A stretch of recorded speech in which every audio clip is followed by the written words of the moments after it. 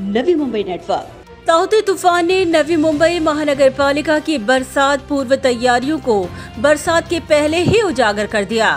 शहर में काफ़ी हिस्सों में जल जमाव पंप हाउस में जनरेटर का अभाव, गटर के टूटे ढक्कन वृक्षों की छटाई के सिर्फ़ जुबानी दावे। इश्तिहारों के बोर्ड टूटकर गिरने जैसी कई घटनाओं ने खुलासा कर दिया कि आयुक्त अभिजीत बांगर के आदेशों को अधिकारी गंभीरता से बिल्कुल नहीं ले रहे। यही कारण है कि इसी से सबक लेते हुए आयुक्त अभिजीत बांगर ने इस बार जम्बो बैठक लेकर सभी अधिकारियों पर उनकी जवाबदेही तय की, जिसमें मनपा अधिकारियों के साथ शामिल थे नवी मुंबई पुलिस आयुक्तालय, यातायात विभाग, MMRDA. CIDCO PWD, MIDC, MTNL, Thane जिलाधिकारी कार्यालय तहसील कार्यालय सुरक्षा व आरोग्य विभाग प्रादेशिक परिवहन विभाग रेलवे प्रबंधक APMC market Mahavitaran rapid action force BEST नागरिक संरक्षण दल TBIA small scale industrial association chemical and alkali industrial society मच्छीमार आदि।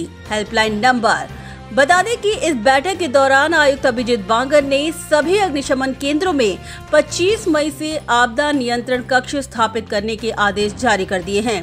नागरिक अगर किसी भी प्रकार की समस्या से जूझ रहे हैं या कोई समस्या उत्पन्न हुई है तो मनपा मुख्यालय में तीन सौ पैंसठ दिन 24 फोर बाय सेवन कार्यरत मध्यवर्ती आपदा निवारण केंद्र के toll free number one eight double zero, triple two, three zero nine या फिर one eight double zero double two double two three one zero आरोप निःशुल्क संपर्क कर सकते हैं। प्री मानसून मनपा तैयारियाँ। बता दें कि इस बैठक के दौरान आयुक्त अभिजीत बांगर ने कड़े शब्दों में कहा कि 25 मई के बाद शहर की किसी भी सड़क की खुदाई का काम नहीं होगा।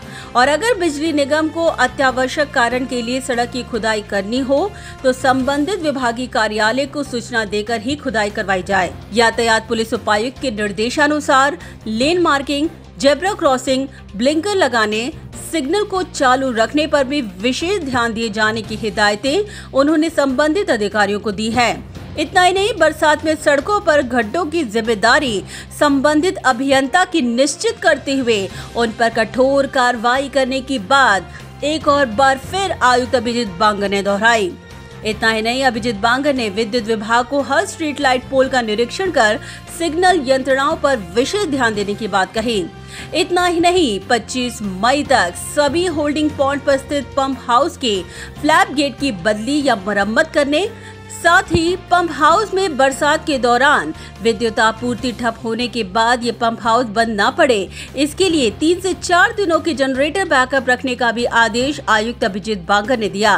साथ ही महावितरण को ये भी सुनिश्चित करने को कहा कि पंप हाउस स्टेशन के यहाँ विद्युत आपूर्ति खंडित न हो, इस दिशा पर विशेष फोकस किया जाए। इस बैठक के दौरान जहाँ उन्होंने नाइट शेल्टर की मरम्मत का मुद्दा उठाया ट्रांजिट कैंप की सुविधाओं को बढ़ाने, आवश्यक खाद्य भंडारण रखने, धोखाधड़ी की इमारतों की सूची को जारी करने, संभावित भू संकलन की जगह को चिन्हित करने, खदानों और नालों से सटे झोपड़पट्टियों को स्थानांतरित करने, संभावित जल जमाव के स्थलों पर पर्याप्त पंपों का प्रावधान करने का भी महत्वपूर्ण सुझाव आयुक्त अभिजीत बांगर ने दिया। इतना ही नहीं, बरसात में, इमारतों में स्थित शेड न उड़े। इसके लिए भी उन्होंने संबंधित विभाग अधिकारी को, सोसाइटी को इसे दुरुस्त करने की सूचना देने के आदेश दिए हैं। अब देखने योग्य बात यही है कि आयुक्त अभिजीत बांगर के इन आदेशों को अधिकारी कितनी गंभीरता से लेते हैं और इसकी हकीकत बरसात में खुद ब खुद खुल जाएगी। ब्यूरो रिपोर्ट नवीम्बी नेटवर्क।